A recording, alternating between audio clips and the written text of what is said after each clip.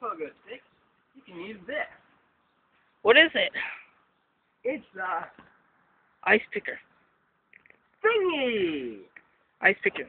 It's a thingy ice picker. Okay. All right. And I'm- this is how you use it. This is pogo sticking. Really improvising.